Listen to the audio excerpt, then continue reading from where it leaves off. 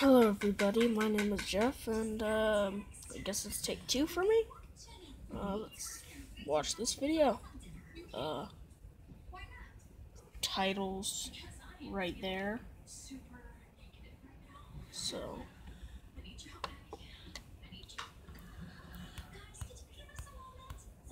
Shoot, hold up, I gotta read that. I think this should do it.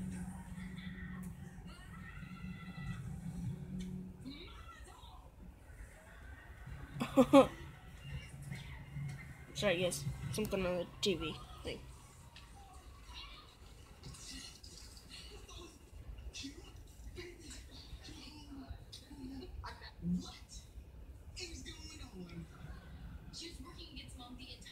Okay. So I'm trying to figure out if this is gonna work. So, sorry.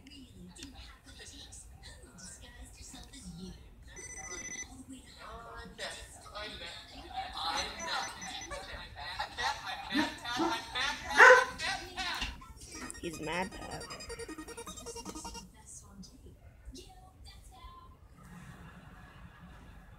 Okay, um, I didn't realize that I had my video on pause. So I'm just gonna start out from right here. Yeah. Shout out to Isabella Taylor from the Notification Squad. Thank you so much for ringing the bell and officially being the first on the Golden Globes video. Yeah. By the way, um, comment if you want subtitles on reaction videos, cause uh, I don't know how to read, but I guess if you guys want, Yes, uh, you do. stop it, Destry. It's a joke.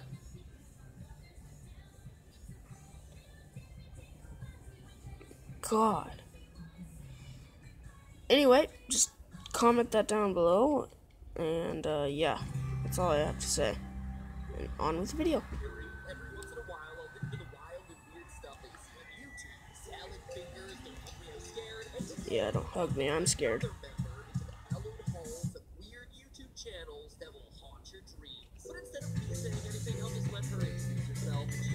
Quite good at it.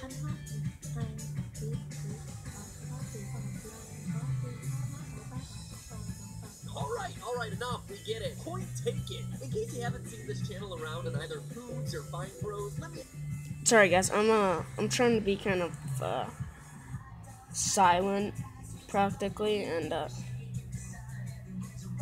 great copyright. I'm trying to be kind of silent so you guys can hear the video.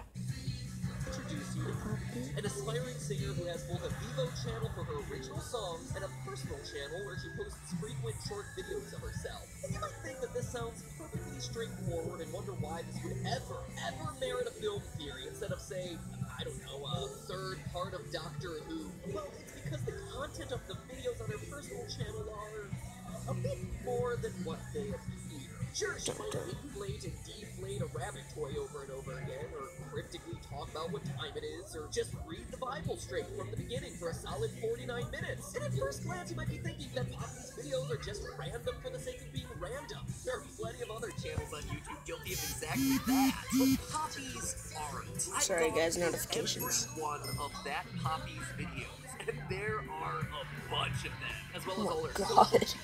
Websites, and there is definitely a much more sinister narrative going on here. Poppy and the other people behind these videos, most notably their director, named Titanic Sinclair, yes, you heard me right, his name is Titanic Sinclair, like the boat, and the author of the most famous muckraking novel of all time, The Jungle, Sinclair, are using these videos to comment on what it takes to be a pop star in the modern age. And I don't mean struggling your way through the ranks from humble beginnings. I mean being churned out by a cold corporate machine and selling your soul to the Illuminati. You heard that right. That's trademarked.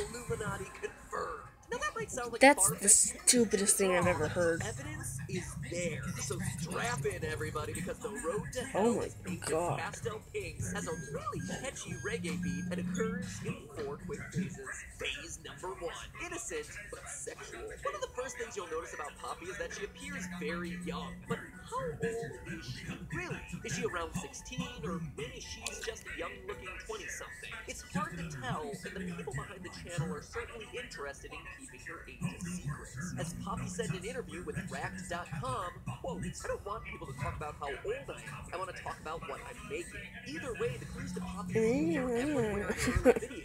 Her very first video shows her eating cotton candy. In another, she's playing He Loves Me, He Loves Me Not flower. Yet another shows her hula hooping, and the name of her first extended play is called Bubble Bath. These choices are clearly no accident because when asked in an interview to describe her style in three words, Poppy states Barbie, kawaii, child. Barbie explains the pink clothes and blonde hair, and kawaii, the Japanese concept of exemplified by things like Hello Kitty, is also pretty obvious. One look at her music video for money and you see that Japanese aesthetic everywhere. But child is the important one, because it connects her to so many young blonde pop stars that we've seen over the past 20 years. For comparison, consider Britney Spears. We're all probably somewhat familiar with 21st century Britney, the one who wore a snake to the VMAs, made out with Madonna, and shaved her head, but I'm sure that those of you who can't tell a Gen X pen from an RCL beauty can also remember late 90s Britney as well when she first hit the scene. In the video for her first major hit, Baby One More Time, Spears' teenageness is on blatant display through her Catholic schoolgirl outfit, which of course comes with plenty of sexualization on its own. I mean, I've been invited to Catholic school dances before, and I have seen some pretty wild things at them, but those moves that Britney's doing aren't leaving any room for Jesus. In those early days, she was an undeniable sex symbol, but in interviews would outright deny it, telling Esquire in 2003 that, quote, look, if you want me to be some kind of sex thing, that's not me. Are you sure, Britney? Because she said this to a magazine that ran pictures like this of her next to the very same No. interview. Yeah, because all the innocent girls I know are doing photo shoots topless, pulling down their panties and covering up their private parts with giant strands of pearls. What did you think those pictures were for? It's not sexual, it's just artwork. Dear Britney, would the lyrics to your big song outright say, I'm not that innocent? Forgive people for being a little skeptical when you say that you are so innocent. That is all I'm saying. But back to 2017. It's hard to deny that Poppy is drawing some parallels here. Just compare this still of Poppy from the video where she introduces herself to the cover of Britney Spears' first album. Poppy also expresses the same kind of aversion to sexuality as early era Britney did, albeit in subtler ways. Take a moment from the video for Poppy's biggest single, Low Life. She's seated at a Whoa. table with the devil. Whoa, whoa, whoa, whoa, whoa. Oh my gosh, did you guys just see that? No, I don't want to see that. Here's your stuff from the attic, Candace. Yeah, like right around here. Why you couldn't find it? Britney did. Watch this, watch this. Subtler ways. Take a moment from the video for Poppy's biggest single, Low Life. Whoa, Candace Flynn, don't Right there. tell me You're still afraid of spiders. Spiders? Are you kidding? right, Afraid of an itsy bitsy spider? right. That done. We're done with the video. The video is over because uh reasons like this. Oh my gosh. That's the Illuminati symbol, only with the heart.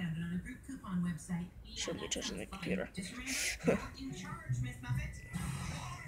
Okay. She's seated at a table with the devil, more on that one later, who peels a banana, puts it in his mouth, and, um, doesn't start to eat it. That, sir, is a choking hazard, Mr. C. See. Really?